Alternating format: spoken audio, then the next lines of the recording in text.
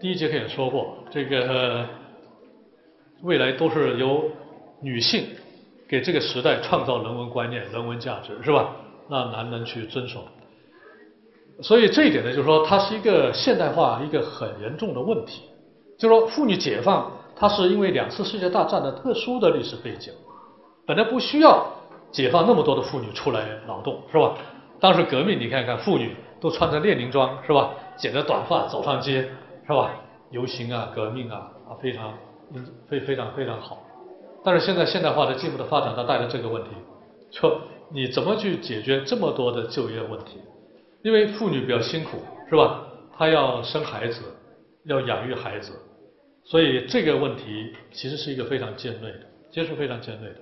这这个问题是社会学的问题，我无法无法讨论。但是我就说李双双。在我们文学史的一些作品叙述中，认为他是解放了这个妇女的人权。我对这个我提有一有一点疑虑，是吧？因为妇女解放是不是说妇女出去劳动，让他们去承担非常繁重的、非常艰苦的劳动工作，就是对他们的解放？如果说妇女在家里真的就生活在水深火热之中嘛，是吧？妇女可以通过技术来调控，是吧？通过一些这种高智力的活动。他来解决这样一个问题，是不是？他这应该让妇女呢从事这种智力劳动，是不是？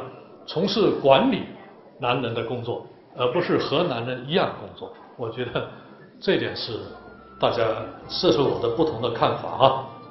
所以我不太赞成有的文学史把李双双呢，呃，小传的认为是这样。有些作品呢，呃，那些理论问题在我的书中有些讨论。大家看一看会不会有不同的看法？周立波的三湘巨变，我就不多谈了啊，没有时间。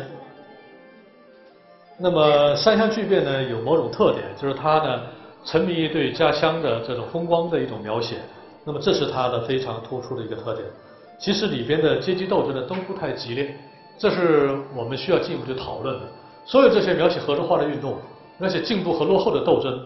在当时认为是你死我活的两条路线斗争，阶级斗争。其实那些阶级斗争都不都不是那么激烈。那么另外的，我说历史的与经验的反映中国的生活，其实有另外一个人物，就是孙犁。那么他呢，在五十年代的写作的不温不不火，像他的《山地的回忆》啊，《铁木前传》，《山地的回忆》。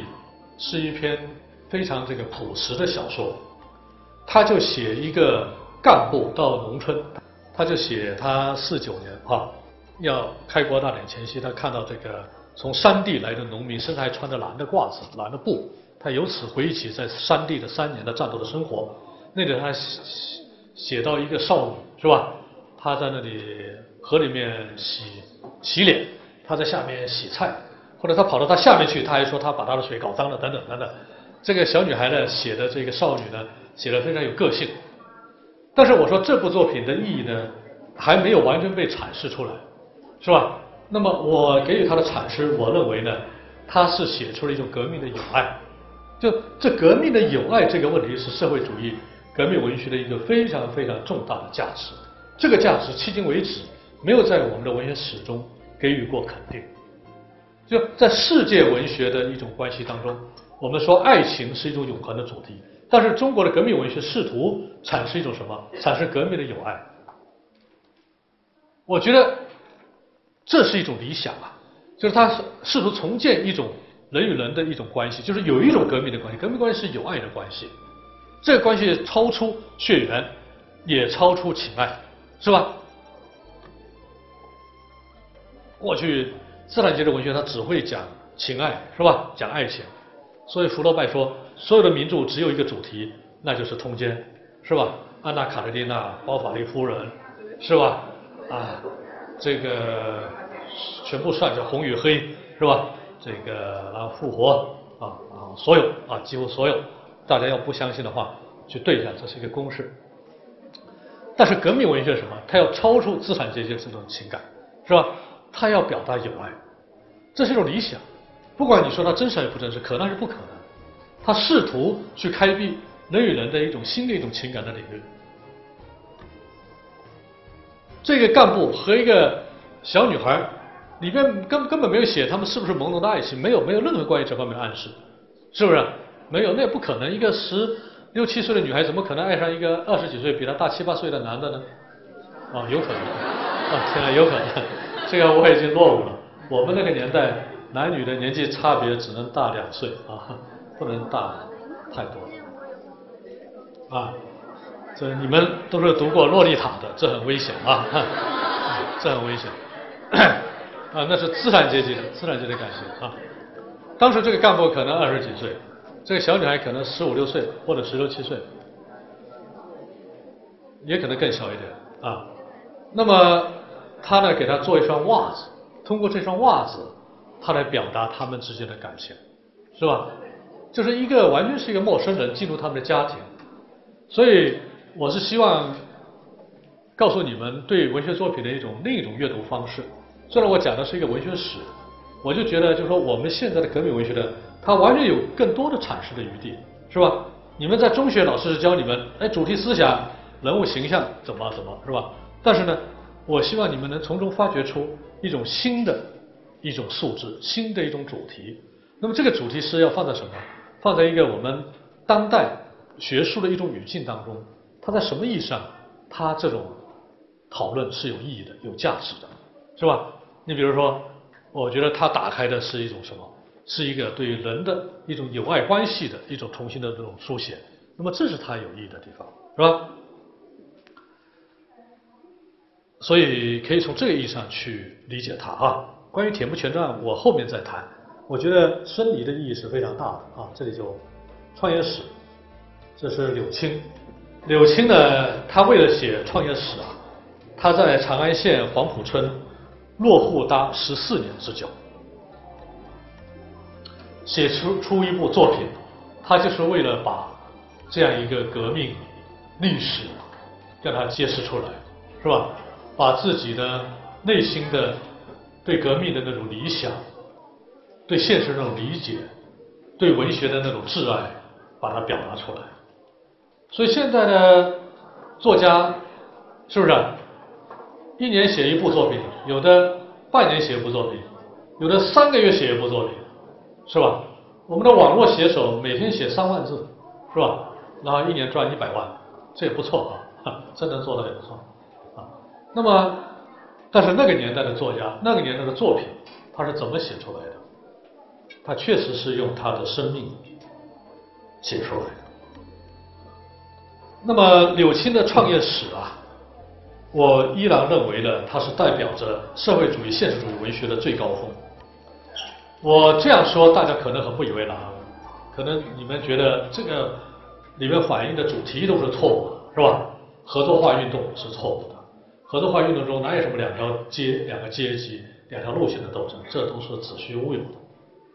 那么，是不是我们根据这些，我们就判断这些社会主义、现实主义的作品也好，被称之为这个社会主义革命文学的作品也好，他们就没有价值了？我是不这么看的。我觉得这样来看问题太狭隘了。我们今天来重读这部作品呢？我们可能可以就社会主义现实主义文学在为现实建构时代想象的作用意义上来理解它的开创性。当然，同时呢，也可以在中国乡土文学叙事艺术的精湛意义上去理解它。我觉得这部作品的叙述，它是非常非常有价值的。就是我觉得怎么去谈它的意义？这第一，它回答了现实的紧急问题，这是社会主义文学和资产阶级文学不一样的地方。也是和现代的中国文学不一样的地方，它就是要回答现实的急迫要回答的问题。当时就是农村存在着日益扩大的贫富差距，以及由此产生的矛盾冲突。就是分了田的农民，他们想重新成为富农。那么这样的话呢，土改革命那有什么意义呢？是吧？把地主打倒了，那要产生新的地主，把过去的富人财产分完了，是吧？现在产生新的。富人，然后又有新的贫困。其实你发现，在农村呐，过去那些发家致富的地主和富农，他们生产上有一套，是吧？他们算盘会打算盘啊，脑袋非常清楚啊。那么地主永远是地主啊，你贫农没办法，你永远要当贫农。一般贫雇农呢，他都是村里的，一般农民有家里，比如说遭了天灾人祸，是吧？有病人，然后有什么什么那个。现在在农村也是这样啊，你不会算盘打算盘，我们说吃不穷穿不穷，打错了算盘就会穷，是吧？这是我母亲呢，总是拿这些金科玉律教导我。我母亲呢，她是一个地主的女儿。她十六岁就当管家，十六岁就要管一家人的事，就是说家里有三十几口，甚至多的时候四十几口人吃饭，这一天的生活是由他来安排的，就说他脑子好。但是呢土改之后，农民完全是按照过去的地主的那一套来生活，所以大家注意，一下不能走那条路。创业史等等这些作品，他在山里湾，他都反映了这种，这是真真实存在的情况。当然，它不是两条路线、两个阶级的斗争，是吧？其实是很简单，就农民他有土地，他想致富。那么均贫富是共产主义的思想，共产革命的出发点就是要均贫富。那么又要产生新的贫富差距，那你这个革命不白搞了吗？所以你可以看到这些作品，它也反映了那个时候。中国革命存在的一个问题，就这种如何继续革命。所以，关于两个阶级、两条路线斗争，是一个继续革命的问题，是一个继对继续革命的想象，对继续革命的合理性和合法性的想象。赵树理的小说是回答现实问题，但都是一些具体的实际问题。柳青要回答的问题则具有历史宏伟的指向性，是中国农村向何处去的大是大非的道路问题。柳青自己后来解释这部小说的主题，正是要说明这样的真理：中国农村为什么会发生社会主义革命，和这次革命是怎样进行的？回答是通过一个村庄的各阶级人物在合作化运动中的行动、思想和心理的变化过程表现出来。这个主题和这个题材范围的统一，构成了这部小说的具体内容。长期以来，这种思想主题被认为主题的历史深度使小说获得了内容的史诗性。但这是其他文学史的评价，我在这里做一个引述。从小说叙事来看呢，也确实可以看出作者以开阔的视野，突出显示了现实主义全知全能的叙述视角。所以小说是抓住主要的矛盾，设计两条路线、两条道路的斗争，以此为主展开线索，来展开具体事件所包含的矛盾冲突。所以这样呢，使小说展开比较大的生活的画面。它不仅涉及到农村的社会主义革命和改造，也涉及到了这样一个城市的社会主义革命和改造。所以他通过这个梁生宝啊和那个改霞是吧？改霞一直爱着他，但是改霞要去参加城市的社会主义建设，那么通过他呢来展示了另一个层面。但是呢，社会主义革命文学就是如何为现实创造政治想象来理解，我觉得这样才能把握住社会主义现实主义文学的独特意义。所以当时是中国革命遇到继续革命遇到的重大的问题，是吧？那么如果说农村出现两极分化，中国社会还出现两极分化，那么私有财产观念又重新扎根的话，那么等于中国的革命，共产共产党的革命，它没有没有合理性了，是不是？没有合理性。所以毛泽东他要在文化大革命提出反。反对资产阶级法权，是吧？但实际上呢，在五六十年代，他一直要要追究的就是如何反对这种私有观念。啊，私有观念当时把农民叫做小农经济，是吧？小农思想，是吧？但是呢，实际上私有观念到今天为止还是人类的这样一个重要的观念，是吧？私有财产。大家知道，自由主义经济它建立在一个最基本的原发的概念上，就是私有财产神圣不可侵犯，是吧？这个是西方资本主义的起源。没有这个，资本主义无法建立。但是私有财产这个观念呢，在五十年代曾经一度又重新抬头。这里关于社会主义、现实主义塑造高度概括现实想象的英雄人物的问题，这个问题呢，大家可以看看。主要是梁生宝这个形象，那么这种形象是不是高大全，是不是概念化？我觉得在那个时代，中国社会主义革命需要理想化的人物，需要这种形象来支撑起继续革命，支撑起革命的这种未来，是吧？需要梁山宝这种人物承担起带领农民走向共同富裕的道路，是吧？但是这个作品呢，我觉得创业史呢，他写中间人物与现实主义的可能性，这是我们需要思考的一个问题。就梁山老汉这些形象被作为中间人物来理解，他写的非常的出色。其实这篇小说中写的最成功的一个人物，姚世杰和素芳，就他对这种心理的描写，对一个富农的，他在那个刚刚被土改完了之后的那种惊魂未定，他又做起了发家致富的梦，那种心理写的非常的那个。然后这个素芳呢？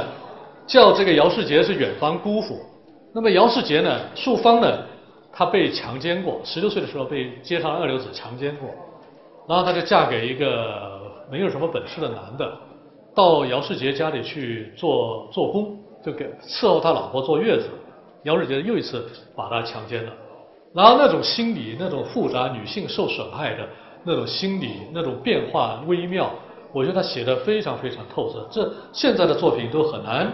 把那种形象写的那么的一种透彻，所以可以说，社会主义现实主义小说叙事的丰富性，可以在这部作品中看到。所以我说，以阶级斗争和路线斗争来设计小说叙事和结构，这是社会主义革命文学的本质要求，也是中国的现代性激进政治在文学上激进化的表现。现实主义的典范之作，也是历史化的理想之作。所以如此。